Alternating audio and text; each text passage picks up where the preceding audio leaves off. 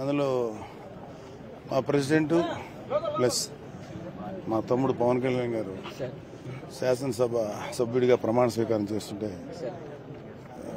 Thrill happy మీ తమ్ముడు ఇప్పుడు ఇవాళ ఉప ముఖ్యమంత్రిగా అసెంబ్లీలో అడుగుపెట్టారు. సో అంటే ఒక థ్రిల్లింగ్ పాయింట్ యాక్చువల్గా అంటే ఇక్కడ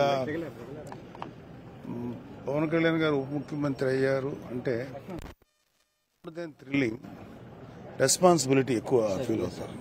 మేము కానీ అంటే ఆయన తీసుకున్నటువంటి పంచాయతీరాజ్ కానీ అటవీ పర్యావరణం ఇవన్నీ కూడా చాలా డీటెయిల్డ్గా పనిచేయాల్సిన శాఖలు ఆయన టోటల్గా అక్కడ ఫోకస్ అయ్యాడు ఆయన అసలు ఈ ఈ పదవి దీనికి సంబంధించిన థ్రిల్ కంటే కూడా ఎంత వర్క్ చేయాలి దాని మీద ఫోకస్ ఉన్నాడు.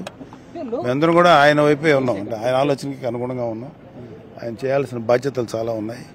దాని మీద ఆయన ఫుల్ ఫోకస్ పెట్టాడు. అవి బాగా చేయాలి అది కోరుకున్నాం తప్ప ఈ పదవి తాలూకు పవర్ని ఎంజాయ్ చేసేటువంటి ఆలోచన లేదు. నిజంగా అసలు ఆ థాట్ కూడా లేదు. సో పర్టికులర్గా ఆ, రాష్ట్రానికి ముఖ్యంగా పంచాయతీరాజ్ శాఖ మంత్రిగా కావచ్చు ఉప ముఖ్యమంత్రిగా కావచ్చు మీ నుంచి మీ తమ్ముడికి అంటే ముఖ్యంగా నాయకు నాయకుడి కంటే కూడా ఇంట్లో మీకు ముఖ్యంగా తమ్ముడుగా ఉన్న నేపథ్యంలో ఎలాంటి సలహాలు మీరు ఇచ్చారు? సార్ ఏదైనా సరే ప్రజలకి ఉపయోగపడేది ప్రజల సంక్షేమం కోసం ఉపయోగపడేది ఏది చేసినా సరే మా యాజ్ ఒక బ్రదర్గా అయితే ఒక అతనికి అన్నగా అయితే మేము అదే కోరుకుంటున్నాను దగ్గర నుంచి. ఎందుకంటే కొత్తగా ఈ పదవి వల్ల మాకు వ్యక్తిగతంగా వచ్చే అడ్వాంటేజ్కి ఏం లేదు.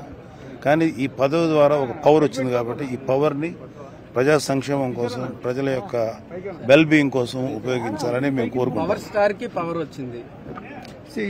ఇప్పుడు ఆయన సినిమా వరకే పవర్ స్టార్ అండి.